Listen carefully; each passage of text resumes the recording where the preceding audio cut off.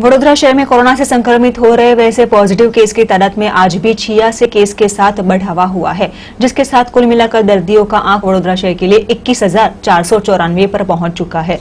तो वही आज मृत्यु आंक दो पर स्थिर रहा था। वडोदरा शहर में हर रोज पॉजिटिव केस की तादाद में बढ़ावा होने के साथ आज भी छियासी नए पॉजिटिव केस दर्ज हुए हैं।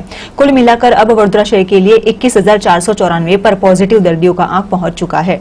बीते 24 घंटे के दौरान तीन हज़ार छह सौ बाईस जितने लोगों के सैंपल लिए गए थे, जिनमें से छियासी पॉजिटिव दर्ज हुए हैं। तो वही आज मृत्यु आंक दो पर स्थिर रहा था। आज एक सौ बीस जितने लोगों को अस्पताल से डिस्चार्ज किया गया था। कुल मिलाकर अभी तक उन्नीस जितने लोगों को अस्पताल से डिस्चार्ज किया गया है। आज नए बने कोरोना पॉजिटिव विस्तारों में से Bhagodiya road, new Sama road, Bapod, Mandvi, Diwalipura Harni Atladara, Sama Fatepura Subhanpura, वड़सर, गाजरावाड़ी, जुबेली बाग, छानी सियाबाग पानीगेट रामदेवनगर तथा वडोदरा के ग्राम्य मंजूसर, करोड़िया, पादरा, करजन, डभोई सिनोर सावली, रणोली आदि विस्तार से कोरोना पॉजिटिव केस दर्ज हुए थे।